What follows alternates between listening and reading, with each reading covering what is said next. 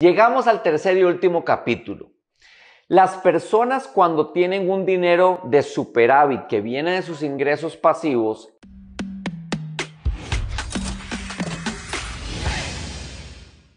esto se llama comprar mi vida de vuelta. ¿Qué quiere decir? Es el momento en que uno puede comenzar a subcontratar o delegar Cosas que no traen mucho valor en manos de terceros que ellos sí son expertos. Por ejemplo, desde hace nueve años, Mari y yo tenemos un asistente personal. ¿Qué quiere decir esto?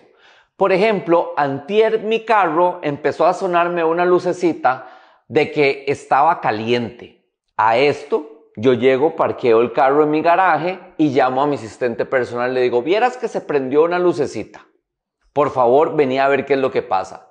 Él viene, recoge el carro, me deja su carro mientras tanto, lo lleva al taller, arreglan lo que hay que arreglar, me lo vuelve a traer, me dice que son 700 dólares, yo hago la transferencia y ocurre todo esto sin que tome un solo minuto de mi tiempo.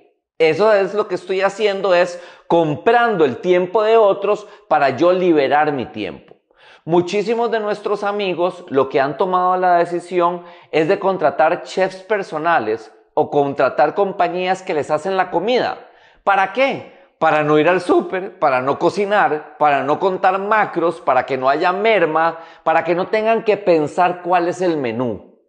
Lo que se hace es apalancarse en el tiempo y conocimiento de otros y de esta forma liberar por medio del dinero el tiempo de uno para de esta forma tener más tiempo para hacer las cosas que para vos tienen mayor valor. Estar con tus hijos, educarte, viajar, aprender. Gracias por ver esta serie de tres videos sobre qué debes hacer una vez alcanzada la independencia financiera. Si ustedes no han visto los otros dos caminos que las personas deben y no deben tomar, están en nuestro perfil.